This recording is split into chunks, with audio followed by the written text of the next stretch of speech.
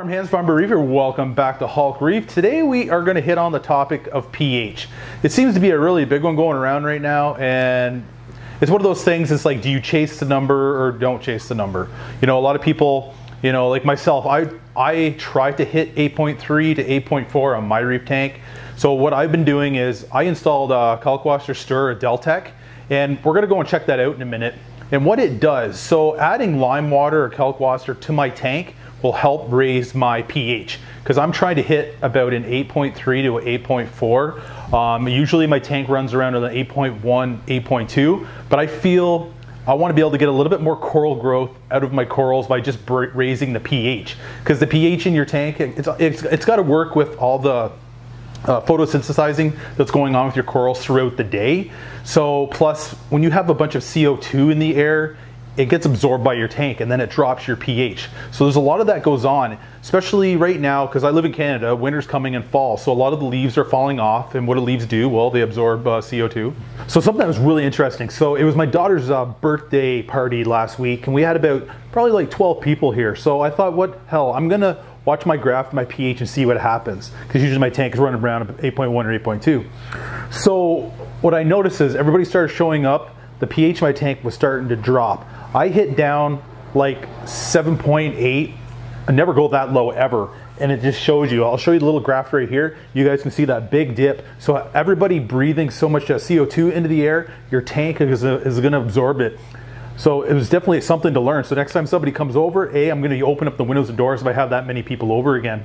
Plus, if you have a wood stove in your house, your tank will absorb it. If people smoke in your house, your tank will absorb it. A few things to watch out for when your house is so closed up, your tank is uh, absorb so much CO2 and it's going to drop that pH. So if you can get some fresh air in there, it's definitely going to help. And the less people that are in your house is actually going to help as well. So open up some windows. So for myself to regulate how many milliliters of kalk wasser I dose, I'm using the Dosetronic from Focustronic. I'll show you guys there in a minute. It's a five head doser and I'm using one of the heads to dose fresh water into my Deltec uh, Stir. You can run it off your ATO as well, but some tanks evaporate at a higher rate. So the higher rate you evaporate your tank, the more kalkwasser you're, you're going to add to your tank, and it's harder to regulate. So that's why I'm using the Dosetronic. So right now, so you put it on your phone. The great thing, you know, I have a technology is I have it set up. It's dosing 24 uh, doses a day, 833 milliliters. That's what my tank can handle right now to keep my keep my pH uh, to 8.3 and still keep uh, my alkalinity at 8.5 because that's your biggest thing because I'm running the cal uh, the calcium reactor at the same time so you got to make sure and regulate keep an eye on that. And this way with the pH you watch your pH graph throughout the day so if you have to make any adjustments you can. And if you want to add an extra dose in there you can as well. So that's 24 times dosed at 833 milliliters a day. That's what my tank is handling right now. And as the corals grow I probably I can update and uh, how many mil a little bit more to help with the growth rate that's going on in the tank. So the Kalkwasser is a great way if you want to stabilize your pH in your tank, and that's the way I do it. So I'm going to show you guys uh, the hookup, the install, the Dosetronic that I use, but and I'll just show you some of the corals and some of the coral growth and the coralline algae that's taking off. Um, so it's been a few months since I added the, the coralline algae from Algae Barn. It's definitely a great way to do it. You know, it's pest free, you're adding in your tank because you remember my tank, it started with all just uh, Marco's uh, dead rock in there, but everything's really good. I don't have any hair algae problems, but keeping all my parameters in check. So if you want your corals to grow, stick to the basics. Keep your pH up into the 8.3s, 8.4s. That's my target range. And that's the way I've been doing it, being successful so far with the Kalkwasser. I'm very happy with it. And I find, I was run, I mean, I'm running the calcium reactor, but I'm finding I'm getting more growth through the using the Kalkwasser, the lime water. And even the, like I said, the coralline algae is actually taking off a lot better as well. So let's head into the life support system room. Let's go check out uh, the Deltec Stir, how I hooked it up, and I'll show you guys the powder. I'll show you the, the Dosetronic as well. And uh, yeah, let's check it out. So this is the Dosetronic from Focustronic. It's a five head. So you guys see I got all the lines here, go nice and neat. It's all about the wire management, making things look good. So mine actually go right into the wall um, below. So whatever I'm dosing, I have a shelf inside my cabinet. If I want to dose anything, all the tubing goes there. I have like just, I pulled up two clear lines just for my uh, calc, so I knew which one it was. Plus it was a little bit easier running it because I had to run it through my cabinet, up and around, and into the sump. So this is right here. So I just have these ones on hook, but you get five heads and everything controlled right off your app. So I have everything hooked up to pump one for the, the fresh water coming in at 833 milliliters a day. But yeah, so it looks pretty good. And then I got my Alkatronic on the top that uh, looks after my alkalinity and you can test from four, eight or more times a day to keep everything in check. But yeah, this has been a great tool and I like be able to have that functionality and it's very accurate as well. Like you always, you want to make sure and calibrate every pump before you dose anything, but it's been great so far. Everything's been bang on for uh, the mill of day. So let's move into the life support system room. We'll check out the Deltec uh, stir. It's a pretty awesome uh, system. I'm, I've got the, the, uh, the, skimmer now, the calcium reactor, and the Deltec uh, uh, gear, and I'm definitely loving that product. All right, guys. So here is the Deltec uh, stir. This is one of the large ones. This one could have like 10,000 gallon uh, systems. So right here on the top, there's a built-in little um, electric motor, and it spins uh, the paddle that's inside and keeps the Kalkwasser all mixed up. Because Kalkwasser is a lot heavier than the water, and it'll just sit on the bottom and it won't do anything. So this is why they call it the stir, because it actually stirs up the kalk and keeps it all mixed so it can dose into your tank. Because if you don't, the kalk would just sit on the bottom and you'd just be dosing fresh water, and that would be useless. So I have uh, the stir hooked up to the Felix Smart controller, and what it does, it tells this little pump here to turn on. Uh, I got a, I got a 15 times a day, and gives it a stir to keep everything uh, not settled on the bottom, and keeps it in here. Um, I'll bring you guys in a little closer here, but I have it right here. I don't know if you guys can see it. This is the fresh water line that's coming from the Dosetronic. And that's the one right here that doses the 833 milliliters a day into the stir. And then you just have, uh, this is your, you call it your fluid, or the, the kalk that's coming out. So I have an extra large tube here, because some, if you don't, they just use like a, a little tube, it can get uh, hardened on the bottom and plug up. So I use the biggest diameter of tubing I could to uh, dose the tank. And it's been working really well. So I'll bring you guys in closer here so you guys can check it out. Um, I've been using uh, the kalk from actually, I don't know, it, it, seems like an older box that I got here. Um, it's actually from Deltec. It's Aqua Crown Kalkwasser powder in this little container. And I put about two to three tablespoons of kalk in there per week. That's what uh, it's been running good for me so far.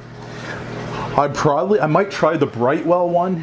What I like about the Brightwell one, the Brightwell actually adds magnesium to their kalk. So i will show you guys here. I got my calcium reactor my magnesium's been staying bang on, but it'd be pretty cool to be able to dose uh, magnesium through the Kalkwasser at the same time.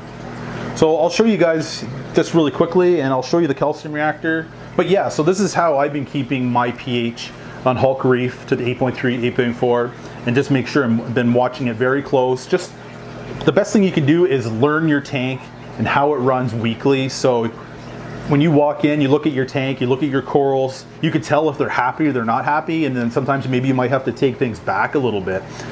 So like we can uh, do a little recap here. A, I've tried running off the, this is the Deltec skimmer here. It's got two pumps, two intakes. I ran a couple uh, lines outside. A, it didn't really work for me. It went up about a 0.5.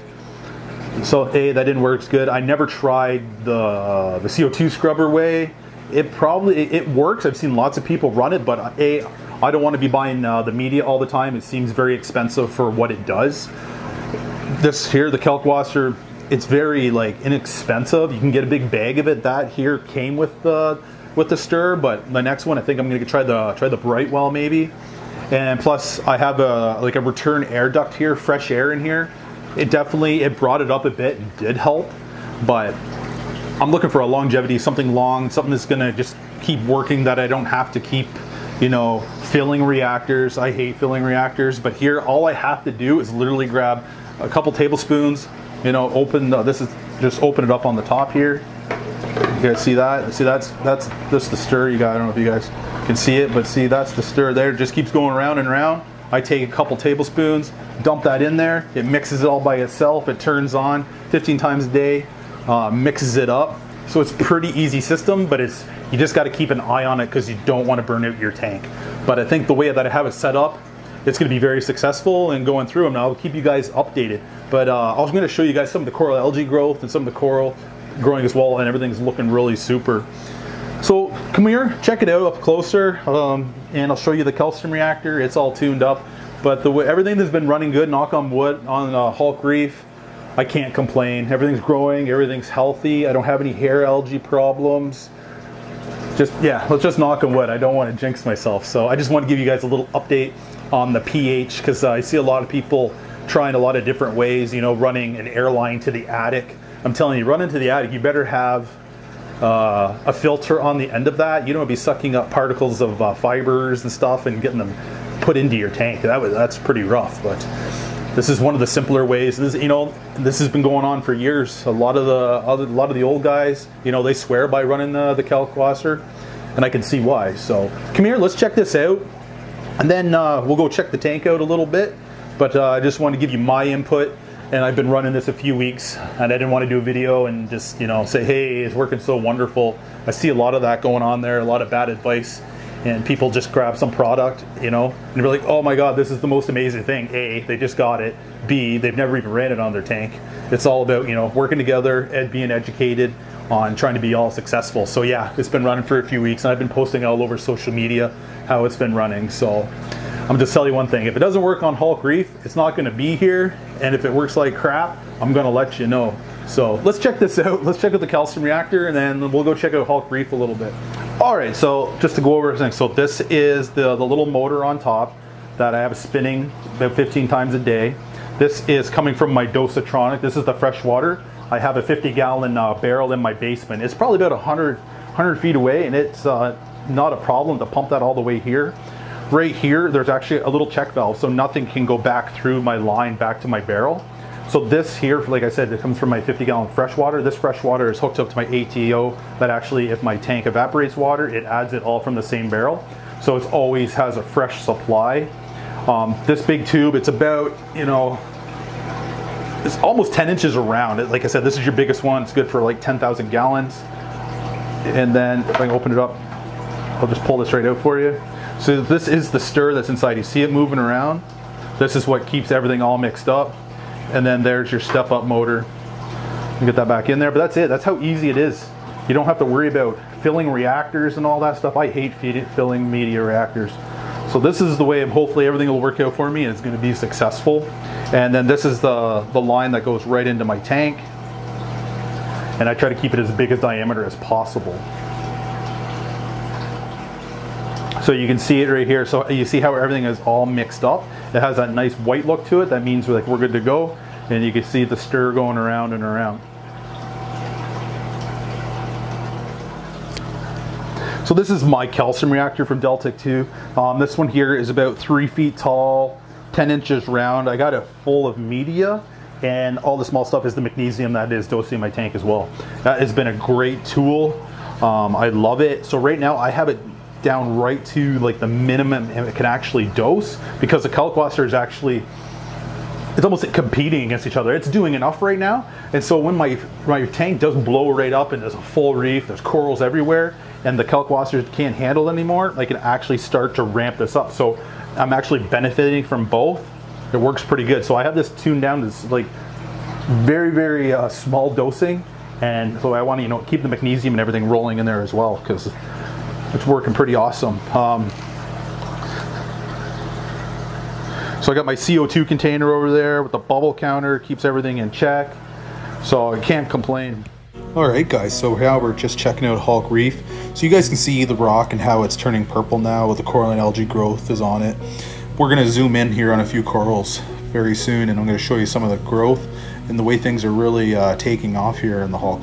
But I'm pretty pleased the overall look of the Hulk. The colors are popping, the rock is looking good, the fish are all healthy.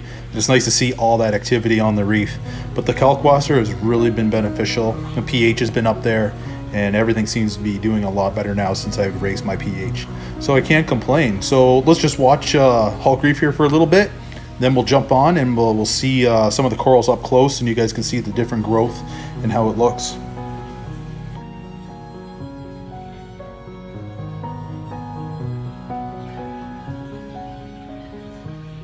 Now we're here looking at one of the SPS corals. Started this one as a frag. You can see all the new, like the pins, nails, whatever you want to call them, coming off the skeleton. It's just they look nice and purple and vibrant. Lots of great growth on that coral. And then we got some soft corals here, the gonias. They are doing awesome.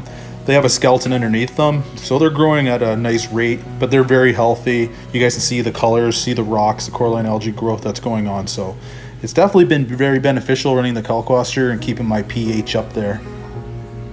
So next one, we're gonna jump onto another SPS coral here. Same thing, started as a frag. You guys can see the tips. Lots of great uh, new growth on there. It's really coloring up nicely. We got like a nice purple blue uh, tinge to it so I can't complain definitely looking really good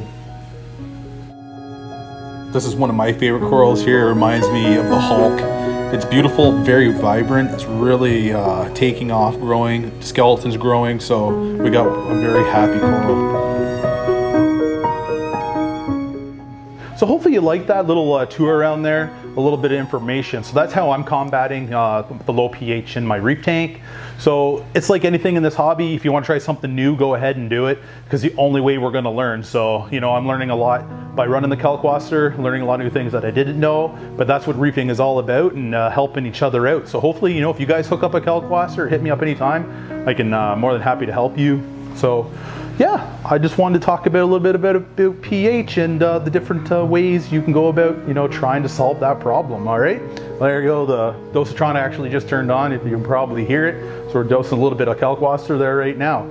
So thanks for tuning this week, guys. I uh, greatly appreciate it. Hopefully, uh, you guys learned a little bit of something. If there's anything else that you would like to see on Hulk Reef, uh, learn about how you know how I combat hair algae or anything like that, because I don't have one stitch of hair algae in my tank or any algae problems. But so if there's anything you want to ask, hit me up. So uh, make sure uh, you tune in uh, this week as well. Our live stream on Saturday, we are going to have ReefBrite on here, learning about all their new lighting from uh, the CEO of uh, Tulio from ReefBrite. He's going to be our special guest. So make sure to tune in on Saturday, 9 o'clock Eastern Standard Time. We'll see you guys then. So if you guys could smash that like button, if you could please subscribe, it would be even better. So please subscribe and hit that like button.